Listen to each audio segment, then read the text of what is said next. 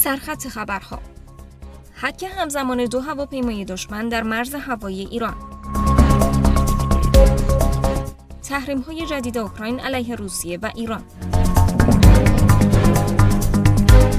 اعلام آمادگی اسرائیل برای جنگ.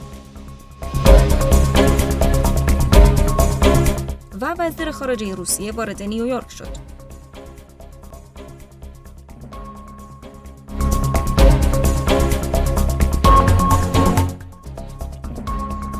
مشروع اخبار. حک همزمان دو هواپیمای دشمن در مرز هوایی ایران.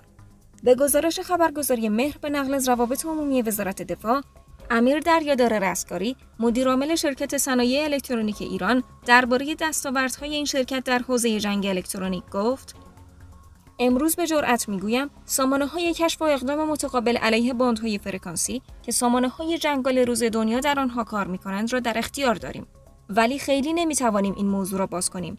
لذا قادریم تمام ابعاد امواج الکترومغناطیس دشمن را پایش کرده و متناسب با آن آفند کنیم.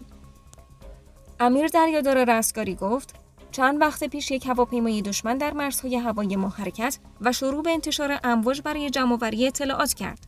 ما این هواپیما را مختل کردیم.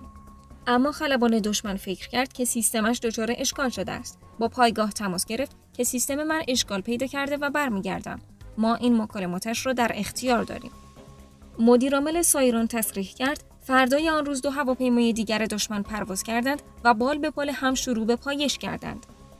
این دفعه هر دو را مختل کردیم چون در آن پهنای باند به این توانمندی دست پیدا کرده ایم. تحریم های جدید اوکراین علیه روسیه و ایران. ولادیمیر زلنسکی رئیس جمهوری اوکراین چهر شخص حقیقی و 382 نهاد حقوقی و 382 نهاد حقوقی از کشورهای مختلف از جمله روسیه، ایران، مالی و سوئیس را در فهرست تحریم‌های این کشور قرار داد. فرمان اجرایی روز شنبه دوم اردیبهشت زلنسکی در چارچوب تصمیمات و اختیارات شورای ملی امنیت و دفاع این کشور اتخاذ شده است. برابر فرمان 235 2023 رئیس جمهوری اوکراین نام چهل نفر در فهرست تحریم ها قرار گرفته است. نام دو شهروند ایرانی به نامهای علیرضا بلالی و حمید واحدی در فهرست تحریم های مربوط به این فرمان به چشم می‌خورد. این تحریم ها برای مدت 50 سال اعمال می شود. اعلام آمادگی اسرائیل برای جنگ به گزارش مونیبان روزنامه رعیالیوم به نقل از رسانه های ابری زبان نوشت ارتش رژیم صهیونیستی برای یک رویارویی دریایی با حزب الله لبنان آماده می شود. امیر بوخبوت خبرنگار سایت ابری زبان والله در این باره گفت ارتش اسرائیل در حال آماده شدن برای وخامت اوضاع در عرصه دریایی است چرا که ارزیابی آن این است که حزب الله ده موشک توسعه یافته در اختیار دارد که کشتی ها، سکوها و تأسیسات حساس در امتداد سواحل را تهدید می کند. وزیر خارجه روسیه وارد نیویورک شد. ماریا زاخارووا سخنگوی وزارت خارجه روسیه در کانال تلگرامی خود نوشت سرگئی لاوروف وزیر خارجه روسیه وارد نیویورک شده است فردا نیز جلسه شورای امنیت سازمان ملل به ریاست او برگزار می شود. همچنین انتظار می رود دیپلمات ارشد روسی با آنتونیو گوترش دبیر کل سازمان ملل امروز نشستی داشته باشد.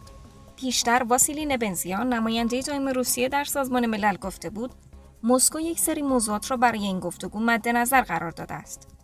در ضمن لاوروف از دیپلمات‌های ارشد چند کشور از جمله آنتونی بلینکن وزیر خارجه آمریکا برای حضور در جلسات شورای امنیت سازمان ملل دعوت کرده است همچنین مسئله دیدار رو در رو بین لاوروف و همتای آمریکایش در سازمان ملل همچنان برقرار است به گفته لاوروف مسکو آماده مد نظر قرار دادن نشستی با بلینکن است و هرگز پیشنهادهای جدی مذاکره از طرف آمریکایی را رد نمی کند.